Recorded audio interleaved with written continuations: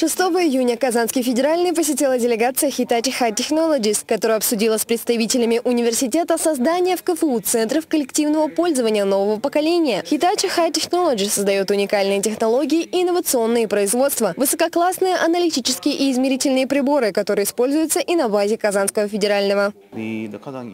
Хочется сказать, что Казанский федеральный университет работает по самым передовым сегментам науки, которые нам интересны. В ходе встречи также состоялась и церемония вручения награды Hitachi High Technology директору междисциплинарного центра «Аналитическая микроскопия» Юрию Осину за выдающийся вклад в развитие аналитической электронной микроскопии в университете и округе. Наш центр формировался, в нашем центре, хочу сказать, уже э, три с половиной года. Это он был создан по приказу ректора, как центр коллективного пользования.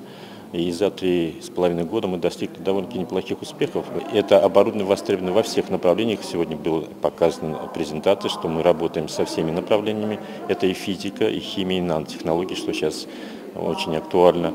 Это и геология, это и материаловедение, э, то есть абсолютно весь перечень э, объектов, которые необходимо анализировать. Работа с оборудованием Hitachi активно проводится практически во всех направлениях, где необходимо проводить анализ. Благодаря работе с Hitachi и проводимыми исследованиями ученым удается добиться достойных результатов. Стоит отметить, что совместное сотрудничество с Hitachi High Technology проводится с 2014 года. Некоторым ученым уже удалось пройти стажировку на базе Hitachi High Technology в Германии.